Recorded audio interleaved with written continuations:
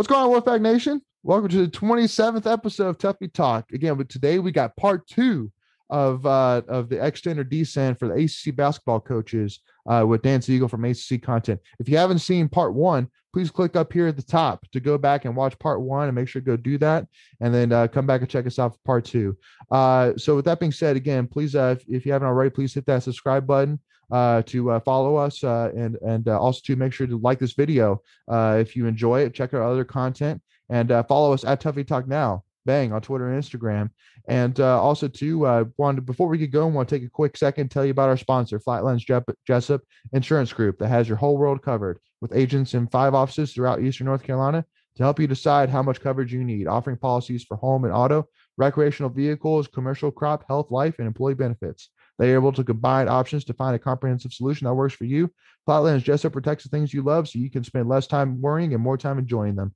Uh, find them on Facebook and Instagram at Flatlands Jessup. You can also visit their webpage at www.flatlandsjessup.com. So please make sure to go and check them out. So with that being said, let's go and get started with part two.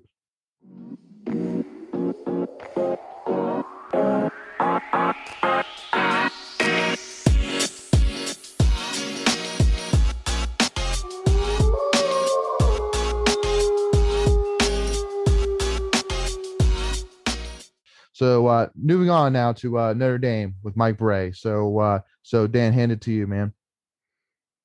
I'm going to say descend for Mike Brey. He's had a lot of success. He's basically an icon at that program, kind of an under the radar icon as far as the ACC is concerned. Because when we're listing the icon, you know, you're going to say Boeheim, Coach K, Roy Williams. You might even throw like a Tony Bennett in there at this point. But mm-hmm. Mike Brey is actually going to be the longest tenured coach in the ACC for their current team. So that so that that goes to the point that he's an icon, but I think he might be kind of I don't think they're going to fire him, but he might be kind of forced out like his days are behind him, kind of makes the decision himself. I don't think I'm the right man for the task anymore if the success doesn't pick up. Now, Notre Dame has a very talented roster this year. So yeah. I think if, it's kind of make or break almost. If he doesn't make the tournament, then what is he still doing? Yeah, I agree. Yep, I, I would agree. I think they done. I think he's a decent. I don't think they bring him back. I think, um, you're right. I think you're gonna ask him. Do you mind just let's, let's call and get a let's do a handshake under the table and let's walk out of here as friends, kind of thing. Yeah. Um, but yeah, I don't think he's going to. I think he's done a great job early on his career. Um, I think he still gets great players in there. Um, I just don't know if he'll be great the next five years. So I'll say decent. Yeah, yeah. And I will say this too. On this too, I think he's got a pretty good coaching tree. If I remember, not I can't remember all the guys off the top of my head, but I think he has a pretty good coaching tree, and um, kind of like people think of with Duke or Roy Williams I don't know if Roy Williams has. I mean, there's the the guy from Cincinnati, but that's about it. So, um, I think I think Mike the Notre Dame, Notre Dame will be fine. I think they got a very storied basketball program. Um, but I just don't think he's going to be there another five years. Yeah, no, I, I agree with you on that. Uh, I mean, for me, uh, so he's entering his 22nd year at Notre Dame. He has overall 448, 248 uh, overall record. You said how many years? Say how many years he been there? How many years? 22nd. I had he's been there for 22 years. Mm-hmm. A lot of people have that reaction. Yeah, just like just like me with Leonard Hamilton's age, right? yeah. So wow, holy yeah. cow! I did not know that. Yeah. So so again, so uh, but the last three seasons he's been 14 and 19 overall, three and 15 the ACC, 20 and 12, 10 and 10 the ACC, and then 11 and 15, 7 11 the ACC. So basically, last three years he hasn't had a winning record in the ACC yet, which you know, so that's why I think for me, uh, you know, just like I think you were kind of saying, making eventually, I think soon, just like maybe like with the Jim Larrañaga over the last couple years, you kind of see that handshake under the table and just kind of walk him out the door, kind of thing. Not necessarily like a fire, but we kind of mutually agree to move on. Announce um, your retirement, kind of thing. Yeah, you know. Yeah. Well, because I mean, right out into the sunset. Well, because I mean, Thank he's you very much. He's, he's he's actually sixty two, so he's not overall that old. So I mean, but I mean, he could like you know become like a you know, like assistant to the head coach kind of deal, or or you know, you know, something like that. You know, I don't know. Go go somewhere. I don't, th- I don't think it's going to happen because it's kind of like, or like maybe like a like a scout I, I, or something like that. Some something like that. Yeah, I think of it kind of like if you're there, you're, like Frank Beamer when he left Virginia Tech and they brought in um, Justin Fuente.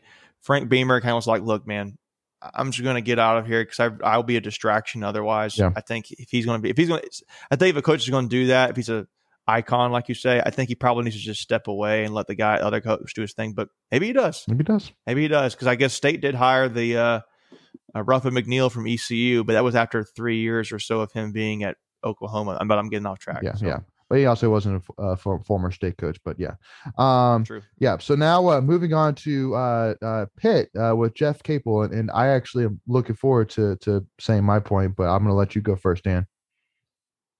I don't think he lasts five more years. No. Yeah. I'm going to descend him. There, basically, if you look at kind of the trend of a a program, you know, they have like their year one under their head coach, they have their year two.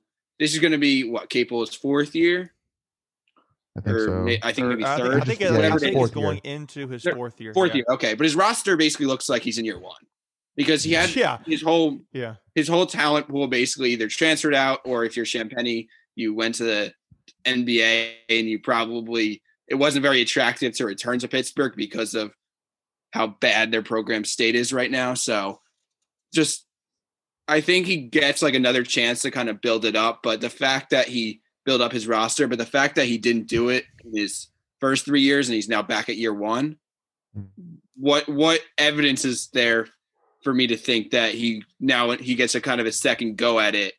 He will now build a roster worth and a success, a pedigree worth keeping for more than five years. Yeah, I agree.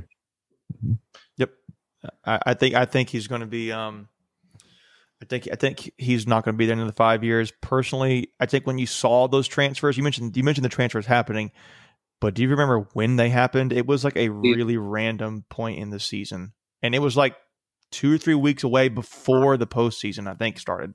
So, I I I think I think he's got some other stuff that something. I don't know if it's like a. He, he seems a guy like who just I don't want to say runs his mouth a lot, but he like seems like he's more about voicing his frustrations during a game. And maybe he does have a coaching place he's drawing up. Um, I don't know if he's a good motivator, and I feel like he's probably got some. There's reasons why those players left. Mhm. Put it that way. And if he's such a great coach and he's got the Duke allure to him, why did they leave? So um, they were starters basically, and they left. So Yeah. Uh, I think I don't think he's going to be there. I think there's something going on there, and um, yeah, yeah. Well, so for me, so so Jeff Capel. So believe it or not, when you know when Coach K was getting older, like you know, a couple, you you know, like more of I would say a couple years ago, you look at Jeff Capel as like the perfect replacement for for Coach K, just because he was around Coach K for so long and the Duke program for so long, and he does have uh uh experience being a head coach. Um, so you do kind of see him as kind of that, you know, possibly perfect replacement, but then obviously he went to Pitt. Um, the biggest thing which I will say is actually, again, for those who don't know, that he actually used to be a head coach at Oklahoma for five or six years. Uh, for, it was from 2006 to 2011. And but the issue is that he didn't win any conference titles, but he did make it to the Elite Eight in 2009. But the problem is that he actually got fired because Oklahoma had the worst back-to-back basketball seasons in Oklahoma basketball history. And so for me, I always kind of have the this the the feeling that if you have a coach who has coached in a Power Five program and it didn't work out, unless there was a huge gap in terms of time wise between the two tenures, I wouldn't want to hire him again. Just because if it does work now, why didn't it work then? Kind of deal. Like you know, you just don't really see that. You know, unless it's that a long time that obviously okay, he's had a chance to learn, had a chance to grow. Okay, maybe we'll give him another chance, but. I don't know. So so that that's kind of my shot. But again, that's why honestly for me, I mean, uh, you know, I when he went to Pitt, I said, okay, they're grooming him to be the head coach of Duke. They're going to be they're like, hey Jeff, go coach at Pitt for a couple years, and then we'll call you back. You know, when Coach K retires, kind of deal. You know, um, but obviously, just like so, you know, his last his three years so far, he's he's had uh 15 ACC wins in three years. You know, it- it's kind of like okay i don't really know how much longer this this issue is going to go and just like you said with the guys leaving in the middle of the year just not a good look so yeah i mean for me it's a decent as well Um, all right. So now moving on to the legend Hall of Famer himself at Syracuse, Jim Boeheim. Dan, what you got?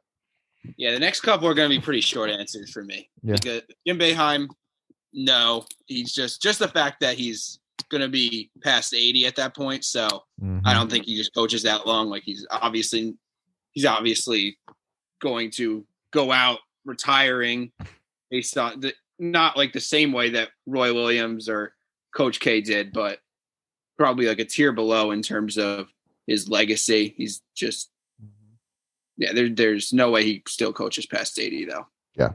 Yeah. Making what you got. Personally, personally, I think this is his last season. I think for two reasons, well, three reasons actually. Roy Williams and Mike Krzyzewski are gone, so Mm-hmm. you can leave now. Yeah. it's like you can, um, so, but I think two, he is uh how many wins is he away? He's 18 wins away from a thousand wins. I think he wants to hit that mark Mhm. personally because you know the other two Hall of Fame coaches, but well, Roy Williams didn't, but or did he? I don't know. If he, I think I think I don't think he did. I know Mike Krzyzewski did, um, and uh, I think he wants to hit that mark. And it's been with a very with a reasonable season, he could get 18 wins. So I think he I think that's part of it. He can retire as a thousand win head coach and Hall of Fame. It's one accolade to have. But I think also on a personal thing, he's coaching his son right now, and Months. I, I don't think he's going to want to just quit while he's coaching his son. Yeah. So He's actually coaching I think- two of his sons. They got right. right. Jimmy, Jimmy Boeheim coming in. So buddy. I love that. so personally, I think he's going to retire soon. Five years from now, I think he's done. Yeah. for sure. Um, but I think the idea of I'm going to I'm getting to coach my sons, my sons.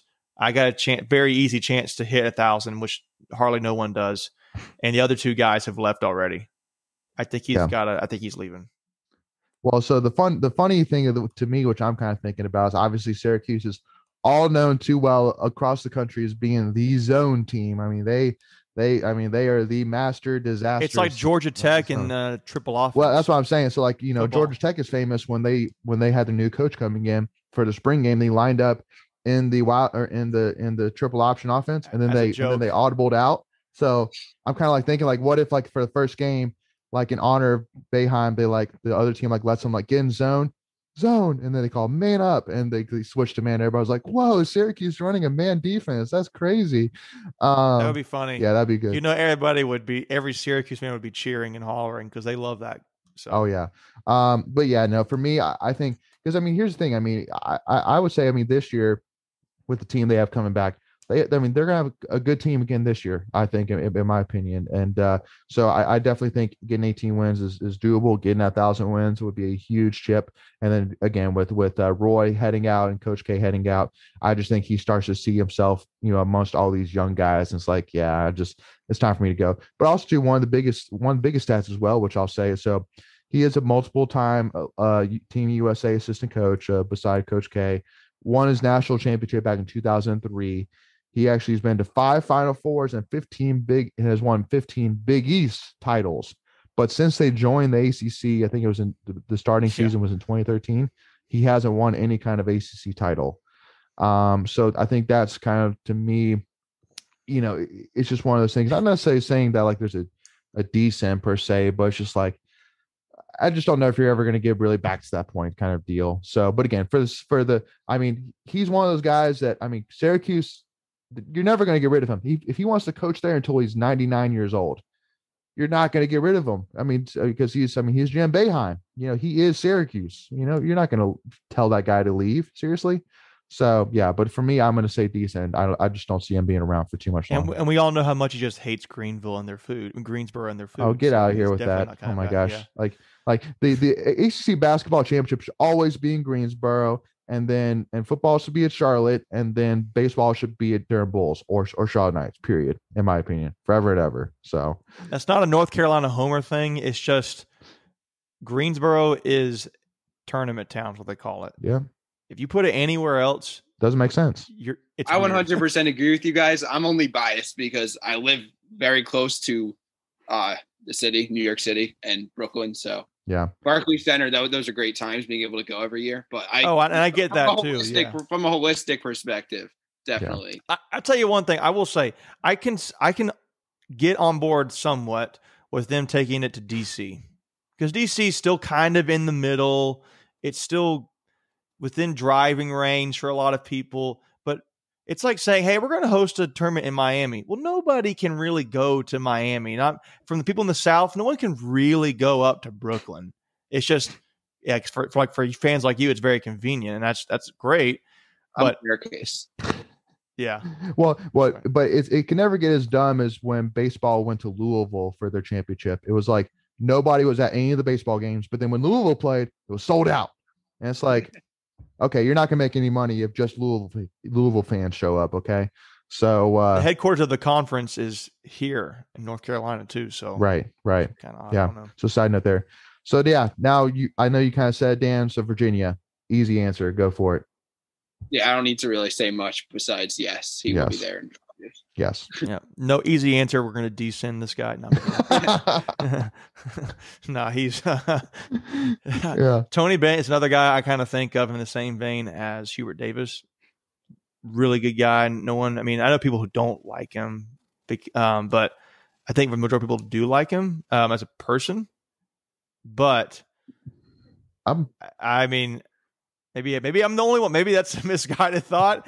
I, but either way, either way, as terrible as it is, I want to like just gouge my eyes out watching Virginia play basketball. He's he's an icon as you used for Mike Brey. He's going to be there as long as he wants to be there. He won them a national championship. Yep.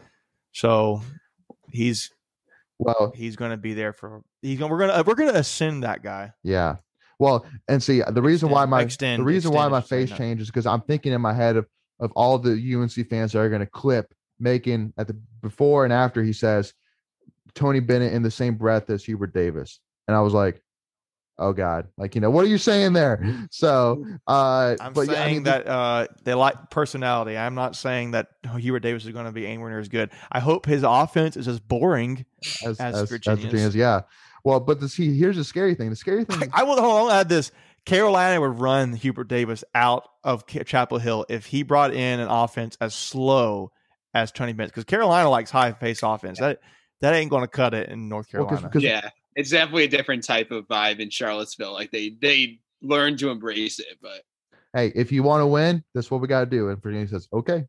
Uh, but I mean, yeah, I mean, UNC has like what if you get hundred points, then Bojangles give them free biscuit or something like that. I don't know if Virginia's scored hundred points and what. if we score 30 points, Yeah, if we score thirty points, hold the defense on. If you hold the opposing team under fifty points, that'll be the equivalent. yeah, yeah, that Yeah, that'd be that'd go. be right. But yeah, I mean, the scary part though is, is this guy's only fifty two. This guy's young. I mean, he's he's got a lot of time left. He's got a so lot you're of we have another 20, 30 years we could watch him do this to us. Yeah, I mean, and but again, I, I me me as a state fan, I love Tony Bennett. That guy's that guy's. I mean, he's he's just like you say, he's a great guy, and he does things right. And you know, at the end of the day, you know, I just hate when we play them. But I mean, uh, I will Yeah. add this too. State has had a lot of success playing Virginia lately. So just saying, No one, no one else has beaten Virginia back to back road trips at Virginia Mhm. except NC State in a long time. feather and Keatts hat there. So, um, but yeah, no, easy extend, easy, easy. Uh, Virginia Tech, Mike Young, Dan, give it to us. This is also fairly easy. I'm going to say yes. I think Virginia Tech fans absolutely love the guy. It's basically polar opposites with their football coach in terms of how much they love the guy. And he's done great things. He has a great mid major resume. He's built, I mean, people forget that they, that Virginia Tech was a very good program coming in with uh, what Buzz did. But then again, everybody transferred away. Kerry Blackshear is the most notable. So we kind of rebuilt the program up very fast. And he's doing a very good job at Virginia Tech. Mhm. Now the um Tyrece Radford situation that stinks, but I don't think that that's just a blip on the radar. Yeah, yeah, I agree. I'm going to say descend. Ooh, interesting. And my reasoning, because I, I have a wife, my wife is a Hokie. Um, and so I, and I lived in Blacksburg, so I've made a few friends there now. Um, I personally think Virginia Tech fans for basketball, not football, but basketball, are only very excited about basketball when basketball is good. And Well, that's all fans, but yeah. well, I mean, but my thing is though, state like for state Carolina Duke, you're going to love basketball even if basketball is bad. They're, they're, they're like like Louisville, Kentucky. Those two schools are going to still love and care about their basketball, even when they're bad. They'll just be really unhappy. Yeah, they'll be really unhappy. They'll be very mad and passionate about it. Yeah, I think Virginia, Virginia Tech's a little bit more indifferent to basketball. They couldn't really care. I think at times they can't. I mean, they do, um, but they're more. They're all about their football mostly. Um, my personal experience having lived there. Um, they and if they're good, they're good, they're good, and they're all in it. But if they're not, they're kind of like, okay, whatever, back to whatever else I was doing. I think Mike Young is still riding some of the coattails of Buzz Williams. That's my personal take.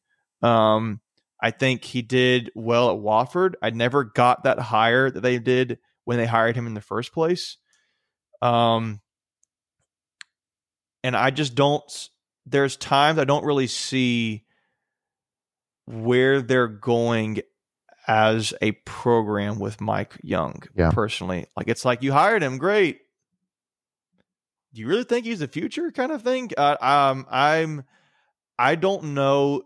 I I pred- I'm predicting that in like the next two three years, you're going to see some question marks start to arise around Virginia Tech, like you mentioned Tyrece Radford leaving. Mm-hmm. Um, I I I just don't know if there's going to be a lot of buy-in yeah. with Mike Young. I don't know. He may fit the Virginia Tech vibe well, although I don't really know what that is with basketball because again, they're all about football. Yeah. But I've also heard from some guys around the who are around the athletic department there. I got one friend of mine, um, just told me like he just kind of like, yeah, Mike Young's kind of, you know, we're still kind of feeling him out in the honeymoon phase a little bit kind of thing. We're still trying to figure it out. Yeah. Um, like he's good. Um, but didn't they in the um tournament only make in Eastern only make it to the final the semifinals because one team got COVID? I think that's right. So Dan correct me, but basically what what I remember for last year is that basically they basically they won all their easy games, but then whenever their hard games came around, they all of a sudden had a COVID breakout or something like that, and they couldn't play. Is that is that what year? This past year? Yeah, this past year.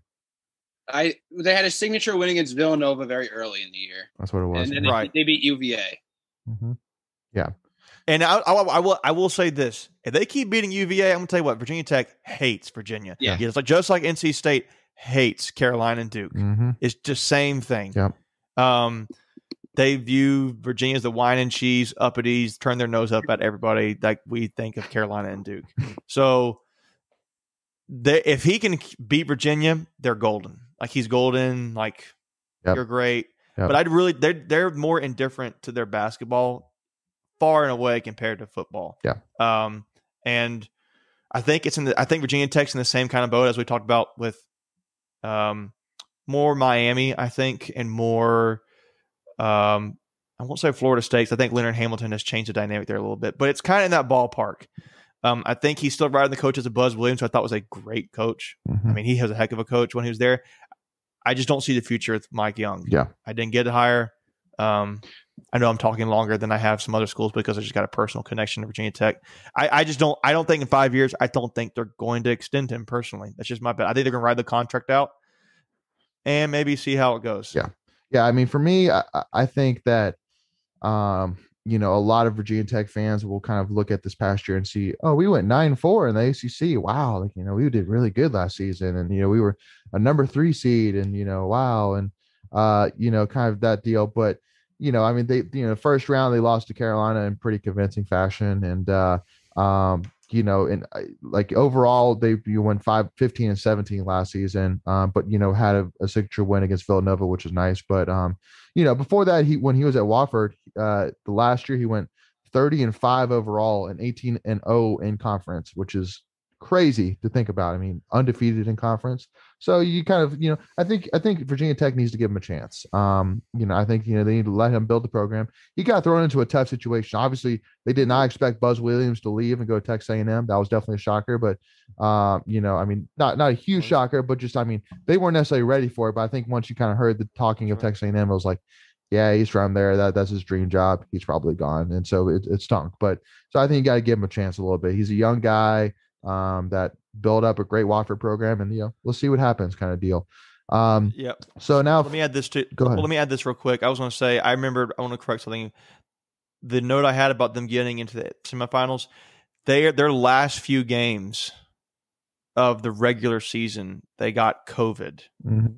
and they or they chose not to play because another team got COVID, right and so they kind of rode into the postseason as a three seed, not playing like two or three games yeah. Mhm. and then just kind of slid in there and they lost. Yeah. So I just don't, I'm just not buying Mike Young at Virginia Tech. Do I think he fits in there a little bit? Kind of. But I think people are kind of trying to figure him out too there. So we'll see how it goes. So Dan, finish us off. Wake Forest, Steve Young, my man. All right, Steve Forbes. I'm going to say, yeah, I think he's going to be there in five years. I, like Wake Forest is kind of a program where, I mean, just think about their football program. They're like mediocre to above average consistently, and the fans are thrilled. Yeah. So I think all he has to do is do something similar for basketball, and I think Steve Forbes is a great coach. He there's a lot of stuff on him. So the players kind of like the fact that he's more of a freestyle five and five out kind of guy. He if you look at Steve Forbes, you really read into him. There was points at his East Tennessee State tenure, which was the mid-major school he came from, that he thought he would overcoach the games, and East Tennessee State struggled. But the play he recruits well because the players love to play for him. He's very freestyle. Like I said, he runs a five-out offense, and he did that the last couple years at East Tennessee State, and they did very well. I think they won 30, 31 games in his last year. So I think that was probably the best hire Wake could have gotten. I'd say there's definitely more than a 50% chance he's there in five years. Yeah. Yeah. I'm And- going to agree. And make it the re- real quick, but sorry. Sorry. Yeah. Steve Forbes. I said Steve Young. Don't know why I said Steve Young. Steve Forbes. Go ahead, Dick Bacon. Yeah, Steve Forbes. he is um uh I think he's gonna be there for another um another five years after you know after five years they're gonna extend him. As looked record, I think he's won like seventy four percent of his games. He's falls under the same coaching tree as the coach was at Wichita State, who was a you know was a really good coach. So he's had that that teaching there. Um, but I don't you know I honestly don't really I don't know a ton about him. Um, and I didn't really know a ton about when they hired him either, although I know he's been a coach uh, much longer. Um, and he's won the Southern Conference. He won Coach of the Year for regular season, um, or he won the regular season and the uh, Southern Conference tournament in 2017 and 2020 at East Tennessee State. Um, I know he only went, uh, I think it was six and 16 at Wake Forest, but Wake Forest, we also know their their their roster is garbage a lot of times, and um, you know they. But the thing with Wake Forest is they could be back if Virginia Tech basketball can be really good again, like it was with or really good. I mean, they were never good at hardly ever.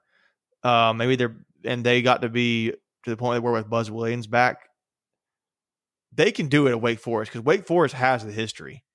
Um, so they just need the right coach, and they don't, they certainly got the money because they're a private school and they, they can pay those kind of things. But I think he's um I I think he's going to be um give him a give him a couple years. I think let him get his guys, and he wants to get uh you know I know there's a guy that state's recruiting who's from the Winston Salem area, and I bet they're all over this guy.